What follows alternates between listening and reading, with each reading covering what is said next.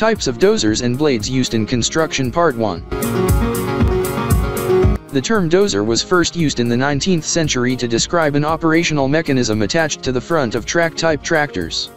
It was employed to scatter loose dirt out over the top of the overfill. It has evolved through time and is now utilized all around the world to conduct more difficult building operations. Do you know how dozers have evolved?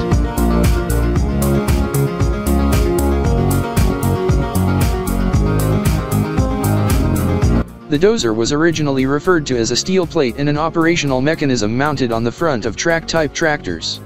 They were affixed to the front end of a pole drawn by horses or oxen and were made of wood. Their major job was to move loose dirt out as it gathered in the overfill. With the passage of time, a dozer blade was added to the machine's front end, which was controlled by a rope windlass attached to the tractor's main frame. Manufacturers began developing dozer blades that matched specifications and quality criteria in the mid-1940s. Both cable and hydraulically controlled versions were available. These track-type tractors were rapidly dubbed dozers and were employed for a variety of projects such as motorways, dams, canals, and so on.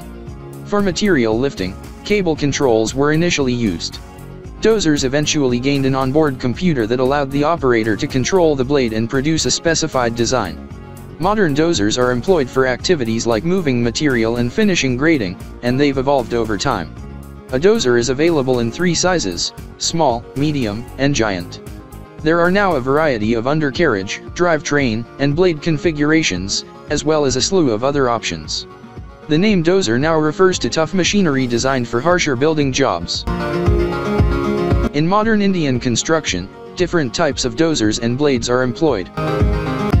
India plans to spend up to 111 trillion rupees on infrastructure projects over the next four years, thanks to the large investment. Bulldozers are now widely used on roads, trains, and airports as a result of this. Bulldozer producers are now concentrating their efforts on technological advancements that will support the machine's compact variations and features that will improve its performance on difficult terrains.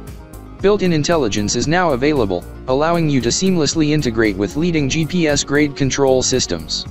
They also available in a variety of power and handling configurations. In India, various types of dozers are employed in road, mining, railway, and other construction projects. For more information call 469-370-7501 or visit interstateheavyequipment.com.